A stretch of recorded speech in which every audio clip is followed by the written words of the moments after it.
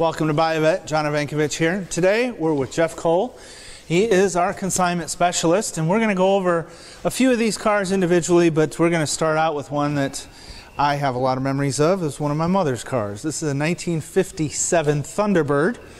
And uh, Jeff, tell us a little bit about this. I understand this is pretty special. It is. It's, it's a very nice car. It's a very, very stock car. Uh, it has had vintage air added to it. Other than that, it's a 292 original matching numbers engine, if I'm not mistaken. Uh, the four-speed uh, automatic transmission. What I really like about it's the overall quality, of the paint, the bumpers, the interior, the engine. You'll see a lot of these cars will have one or the other top.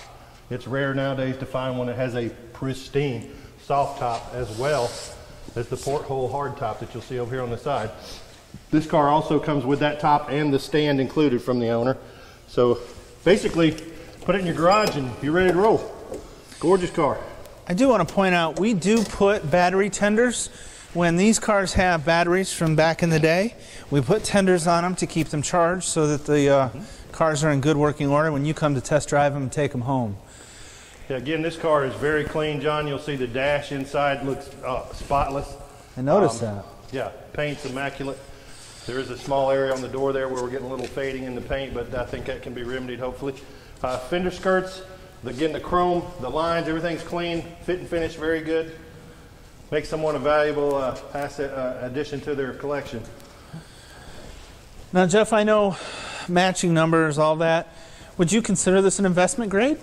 No, I think this is the kind of car you could drive and enjoy. It's it's got, like I said, some imperfection in it, but it is so clean and so nice, and the price Guys, you're going to see numbers all over the board on these cars when you go online.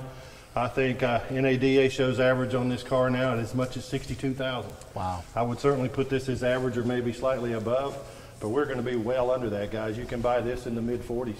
Wow. Upper okay. to mid 40s. Very nice car.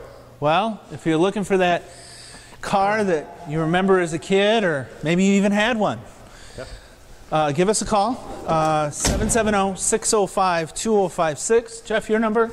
Yes, 770-883-9263. Yeah, John, the one other thing I'll add, you know, this car is the one that came out from Ford to compete with the Corvette back in the day. That's true. In fact, the, the numbers were so strong on this car in the first few years that it was a, a bit of an embarrassment to Chevrolet. So, again, just a very nice uh, classic vehicle. Yep.